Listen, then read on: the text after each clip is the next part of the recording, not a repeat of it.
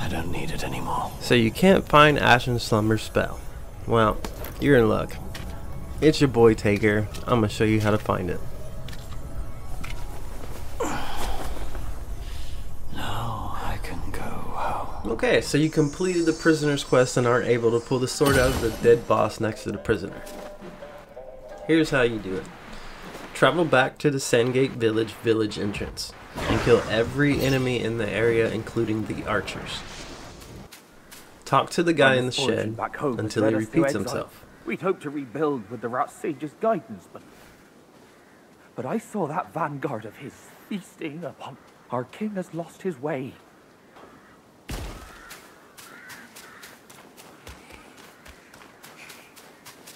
Head back to the shrine through the gate and kill those enemies.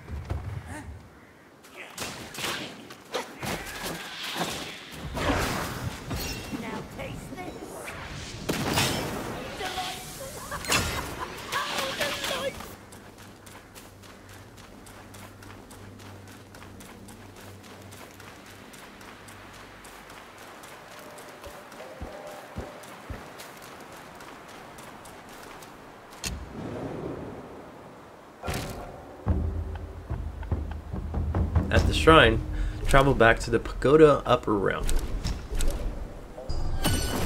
From the shrine, turn left and follow the path all the way to the end. The two-headed rat will spawn. After beating him, you'll be able to pull the sword and retrieve the Ashen Slumber.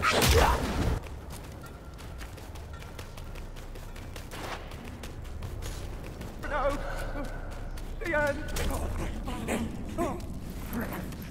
How come it's you? Where's the Buddha?